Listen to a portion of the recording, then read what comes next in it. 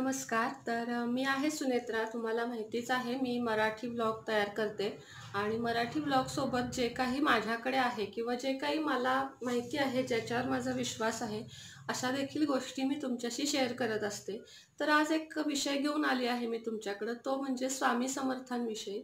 श्री स्वामी समर्थ यांच्या नावामध्येच इतकी ताकद आहे की तुम्ही जर त्यांची भक्ती कराल मनापासून भक्ती कराल तर तुमच्या आयुष्यात अडचण हा शब्दही राहणार नाही याची खात्री आहे मला. कारण अशा अनुभवातून मी गेलेली आहे. तर बऱ्याच जणींचे मला प्रश्न आहेत मैत्रिणींचे इथल्या किंवा यूट्यूबच्या की स्वामी समर्थांची नित्य सेवा कशी करावी कमीत कमी वेळात आणि जास्त शास्त्रशुद्ध पद्धतीनं न जमेल अशी कशी करावी तर त्याचंच उत्तर मी आज देणार आहे. तर तुम्हाला जर सगळ्यात आधी स्वामी समर्थांची नित्यसेवा करायची असेल तर त्यासाठी सगळ्यात रामबाण उपाय आहे हा श्री स्वामी चरित्र सारामृत. हे पुस्तक अतिशय प्रभावी आहे. आणि फार किंमत नाही याची. फक्त एक तेहतीस रुपये किंमत आहे आणि कोणत्याही पुस्तकाच्या किंवा धार्मिक पुस्तकांच्या दुकानामध्ये तुम्हाला हे मिळून जाईल. आणि मठामध्ये पण मिळून जाईल.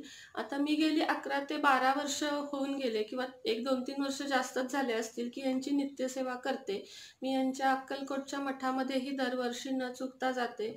तिथे आम्ही थोडंफार आमच्या इच्छेने दानही करतो. तिथे राहून येते. तिथं जाऊन मी गुरु सारामृत पूर्णपणे वाचते आणि घरातही मी हे सगळं करत असते. तर ह्याचीच मला तुम्हाला आज माहिती द्यायची आहे की जर तुम्हाला नित्यसेवा करायची असेल तर मी आता इथं देवघरातून ही मूर्ती इथं दाखवायला आणलेली आहे. काही हरकत नाही आहे तर ही माझ्याकडे आहे ती स्वामी समर्थांची मूर्ती आहे जी मी मठातून आणलेली आहे अक्कलकोटच्या. आणि ही मूर्ती घरात आणल्यापासून मला वडीलधाऱ्यांचा आधार मिळाल्यासारखं झालेलं आहे कारण ही मूर्तीमध्ये थोडी ताकद आहे की आपलं मन आपण त्यांच्यापाशी मोकळं करू शकतो कधीही आणि केव्हाही. आणि यांच्या सेवेसाठी फार काही नाही रोज एक फूल त्यांना वाहा मनापासून तुमची इच्छा मागा. आणि एक तारक मंत्र आहे प्रभावी जो मी एका ब्लॉगमध्ये म्हणूनही दाखवलेला आहे. निशंक होई निर्भय हो मनारे प्रचंड स्वामी श- बळपाठी शिरे. हा एक तारक मंत्र आहे. तो रोज सकाळ संध्याकाळ घरामध्ये म्हणा आणि म्हणणं शक्य नसेल तुम्हाला येत नसेल तर त्याचंही पुस्तक मिळतं. पुस्तकही घेऊ शकत नसाल तर यूट्यूबवर तुम्ही फक्त ते सर्च करा आणि घरामध्ये तो दोनदा तारक मंत्र म्हणा आत्ता कोरोनाच्या काळामध्ये काय आणि इतर काळामध्ये काय आपल्या मनामध्ये सतत एक भीती असते. अगदी साधे एक्झाम्पल देते की आपला जर नवरा म्हणजे आपले जर पती गाडीवर गेले तर ते गाडी नीट चालवतील का ते परत नीट येतील का नाही मुलं बाहेर गेली आहेत त्यांच्यावर काही अडचण येणार नाही ना अशा अनेक भीती आपल्या मनामध्ये असते. जॉब जाईल का काय व्यवसाय होईल का नाही तर ही प्रत्येक भीती आपले स्वामी समर्थ घालवतात. कारण त्यांचं एक वाक्यच आहे की भिवू नकोस मी तुझ्या पाठीशी आहे. आणि ते ते सिद्ध करूनच दाखवतात. जे जे कोणी स्वामींची भक्ती करतात त्यांना भीती हा प्रकार मनामध्ये उरत नाही. तर मला तुम्हाला सांगायचं आहे स्वामी चरित्र सारामृताबद्दल. तर ह्याचा असा नियम आहे की तुम्ही कमीत कमी याचे अकरा अध्याय वाचले पाहिजेत. तर मी तुम्हाला दाखवते की ह्याच्यामध्ये तुम्ही फलश्रुती फलश्रुती म्हणून एक आहे. त्यामध्ये तुम्हाला सगळं दिलेलं आहे. जर तुम्हाला कुठला रोग बरा व्हावा वाटत असेल तर तुम्ही सात पारायणं करा. विद्या अभ्यास प्रगती म्हणजे शाळेबद्दल काही अडचणी असतील तर सात पारायणे करा. विवाह जमावा असं वाटत असेल तर एका दिवसात संपूर्ण पुस्तक तुम्ही वाचा. नोकरी व्यवसायात काही अडचण असतील तर सात पारायणे करा. आणि मालमत्ता प्रॉपर्टी याविषयी काही अडचणी असतील तर सात पारायणे करा. आणि पाठ हा श्रद्धापूर्वक करा. इकडं तिकडं लक्ष आहे आणि पानं वाचत चाललायत असं करून चालणार नाही आहे तर हा बघा हा प्रथमोध्याय हा म्हणजे इथून हा पहिला अध्याय चालू होतो. आणि फक्त तीन पानांमध्ये तो संपतोही अशा प्रकारे. हे बघा इथं हा संपला आहे द्वितीयोध्याय हा चालू झालेला आहे. वाचन करणं सोपं आहे. तुम्हाला संपूर्ण जर पुस्तक जमत असेल तर ह्याच्यापेक्षा चांगली गोष्ट नाही. पण नसेल शक्य वेळेअभावी किंवा काही कारणानुसार तर तीन अध्याय रोज वाचा न चुकता. आणि आम्हाला मठामध्ये सांगतात की अकरा माळ रोज जप करा.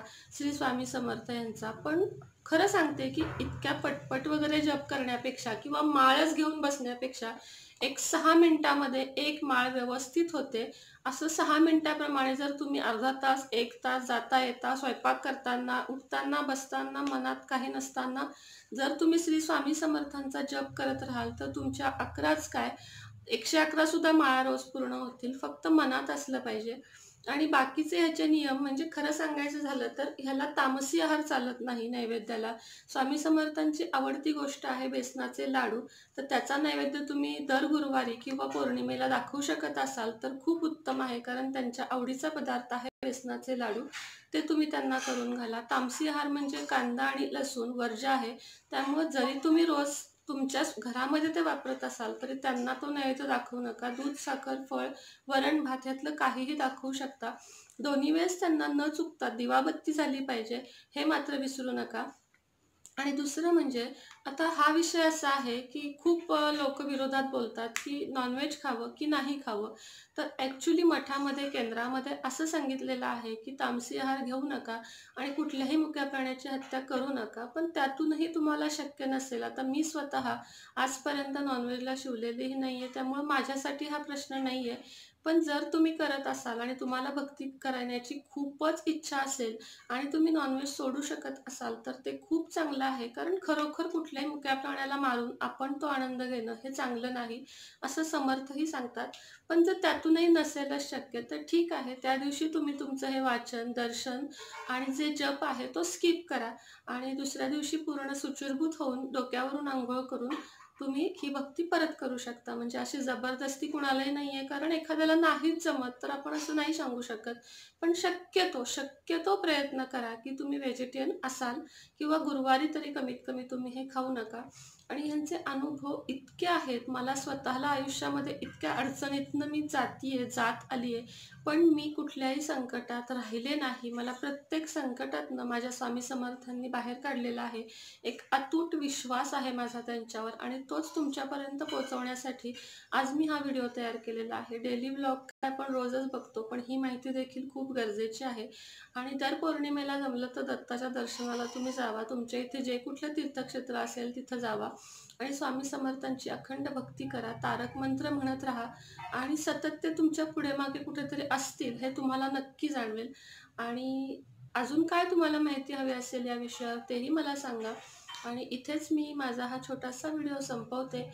आवडला तर नक्की सांगा लाईक करा शेअर करा. अजून काही माहिती असेल हवी असेल तर मी तीही तुम्हाला देईन. आणि याबरोबरच आपण इथं थांबतो आहोत. तुम्ही तुमची काळजी घ्या हसत राहा मस्त राहा खुश राहा देवाचं नामस्मरण करत राहा. जय श्री स्वामी समर्थ.